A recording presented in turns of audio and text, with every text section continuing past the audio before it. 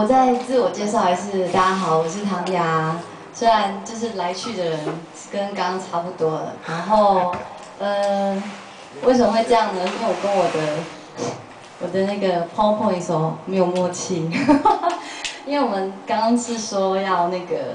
我弹的时候，他就帮我切到歌词，我一直看他，然后一直看我。然后我刚刚也在想说，这个场合其实。我是会希望尽量不要透过机器就直接唱这样子，对。可是又怕声音出不去，会吗？不会，不会。哈？不会。不会，还是要听我的原声呢。因为老实说，你如果看梦会才会分散，那如果我们专心听你唱的话，就是会感觉你跟音乐的那种融合跟共鸣，我觉得反而是更好。你是说开这个吗？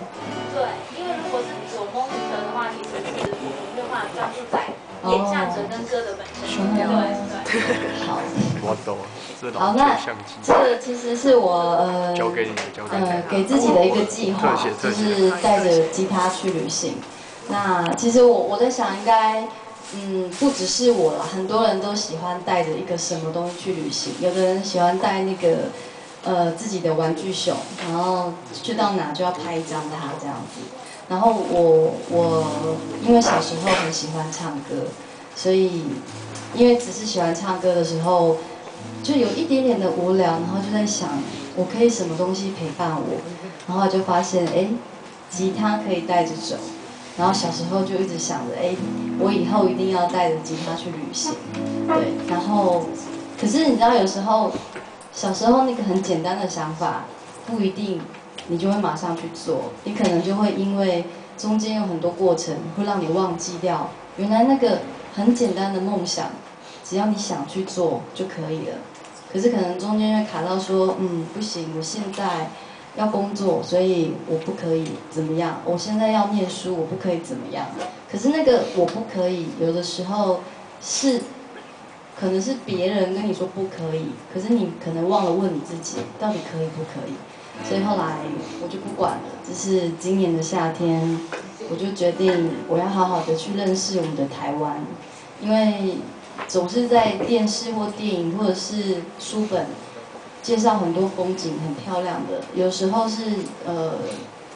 讲一些国外的风景或是怎么样，我就觉得用看的，我不如真正的去体验这个。这个世界到底到底它会有多美丽？这样，然后我想要带来我的第一首歌，就是一种寻找这样的心情。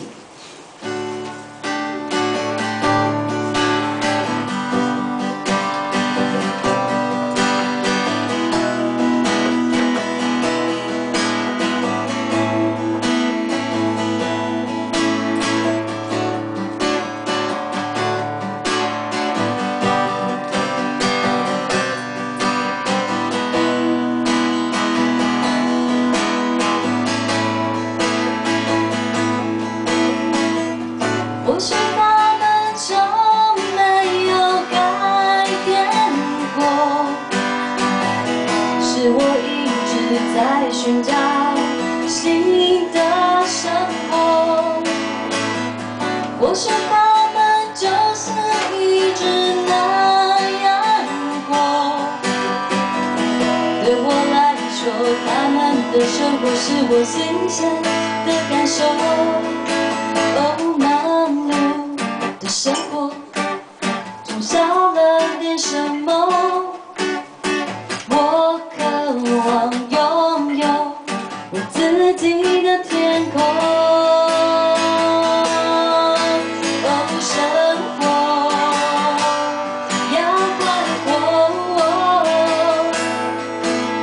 wish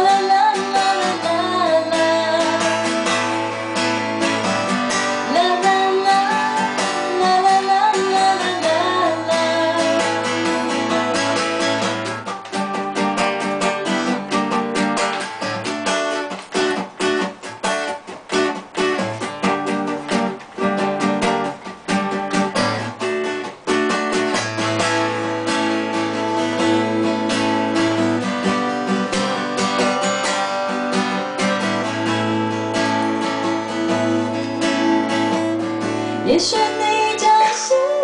跟别人不一样勇敢的做一个自己的主人。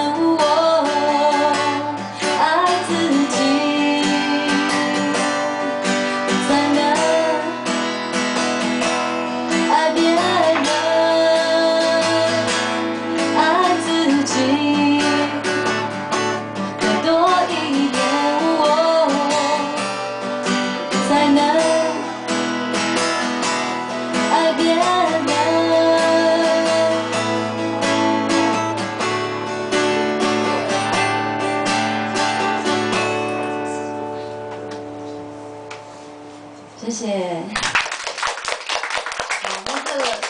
这首歌是呃在更久以前，我在台东的时候，嗯，去，其实那时候是跟着一个朋友，他要去那边表演，然后他就跟我们介绍台东有一些很特特别的地方，那我就是被拉去的，然后我就发现，哎，从小在西半部生活长大的自己，去到了东部，我觉得，哎。东部对我来讲，根本就是另外一个不一样的世界，就是跟那种台北，就是全部都是一堆房子挤在一起，然后人很拥挤。那可能二十四小时你都可以感受到这个城市可能很忙碌，或者是很喧哗，然后很热闹。可是有的时候会觉得那种感觉好像不完全是自己想要的。然后就念书的时候在南部，在台南念书，就觉得哎，台南又是另一种感觉。那到台东，哎，更是另一种感觉。然后又看到了，就是从小到大我可能都没有接触过原住民，哎，到那边遇到了好多唱歌好好听的原住民。然后那时候觉得，哎，原来音乐也可以这样子玩。然后就发现，就是每一个地方可能有一个他们生活的样子。然后我是一个还在寻找我到底要什么生活这样。然后我发现，就是这几年下来。因为我后面歌词就写说，就是要爱自己才能爱别人。就发现说，你一直在外面寻找东西，到最后其实你多爱自己一点，多关注自己一点，然后最后你才有办法就是找到自己到底要什么。然后我现在这个阶段就是，我不想要在嗯从新闻啦或是媒体上面去了解我所认知的世界，我想要自己真的。离开我自己的生活范围，然后去体验台湾到底我从小到大生长的地方到底是什么样子，所以我就毅然决然就辞掉我的工作，然后我就就开始就是去先去花莲旅行，然后其实我今天来不及整理，因为在花莲的那个有一间民宿是让我打开这个愿意去。探索这个世界的一个一个契机点，那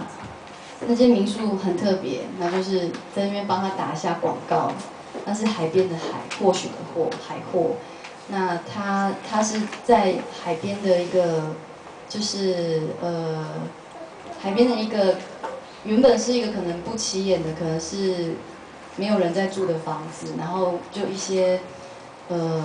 可能是手做的艺术家把那边弄起来。然后每天就是你去那边就很像在就是度假，那那边的照片如果分享到呃可能西半部的人会觉得说哎这看起来很像是国外的巴厘岛什么什么的，然后我就觉得说哎当我人在花莲的时候，离我离台北可能就只有几座山的距离，可是我人到那以后，我发现哎那边的人讲的话，然后心情完全跟我在台北那个感受是。完完全全不一样。我觉得，哎，台湾，台湾很有趣。它，它其实不大，可是你只要跨过一个县市，走过一个过了一个山，那个人就完完全全不一样。那在那个民宿的时候，就，哎，刚最前面不是有一排人吗？就是这边就全部都是在那个民宿认识的人，然后就是大家应该会觉得。这个组合很奇怪，因为那时候我们去台东富冈要搭船去兰屿的时候，然后那个旅行社的老板娘就说：“你们这个是旅行团吗？”可是因为我们的人就是有年纪很大的，然后也有年轻人，然后觉得哎，你们这是，他就搞不清楚这样，然后我们就说我们就是一群流浪汉，因为我们已经准备好就是背着行囊，然后决定就是用走的方式把蓝屿跟绿岛走完，对，然后我那时候就觉得哎，这跟我想要去了解我们的土地很贴切，因为它是用。就是完全不是像以前，以前如果我们我们努力辛苦的赚钱，可能就是为了要买到三天很爽的度假。可是这个不是，这个是你可能所有装备都背在自己身上，然后帐篷也背在自己身上，然后带几样你喜欢的东西，陪着你去浪迹天涯。然后最好玩的是浪迹天涯，同时还有一群人陪着你这样子，然后就。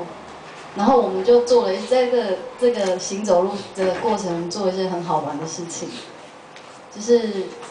有的人就是做那个自己设计那个背包，这个很多人都说很像那个宁采臣的那个包包，而且这个东西是他这个旅行完了之后就被人家买走，用几万块的价钱把它买走这样，那就是人家觉得那是一个，可能他觉得是一个艺术品。对，然后，然后其实，在这种徒步的旅行的时候，其实有时候你会会忍不住想要放弃，因为东西已经很重，然后，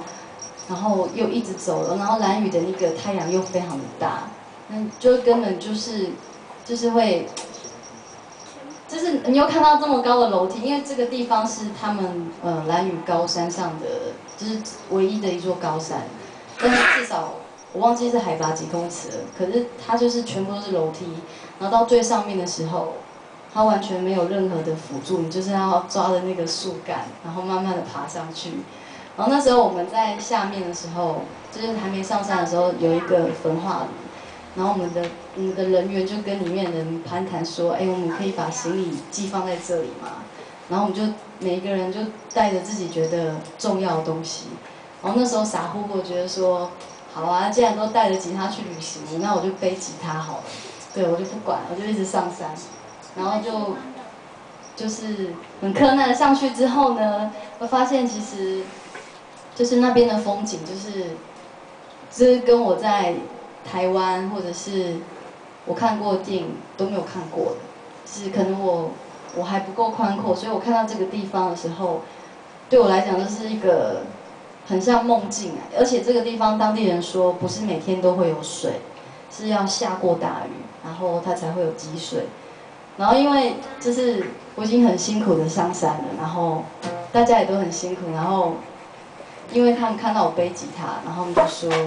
那这样好了，你去那个中间那个树干，把那边当舞台唱歌给大家听，这样子就了了我的心愿，然后也让大家可以休息。”后来就。我们就真的，我们这群人就很疯狂，就因为我们的器材都不能碰水，那我的手不能碰水，所以我就是把手举高，然后其他人就是可能拿相机、拿录音机、然后吉他这样，就很像是在拜水神这样子，然后大家这样走过去，然后千辛万苦的就走到了我们的梦想中的舞台，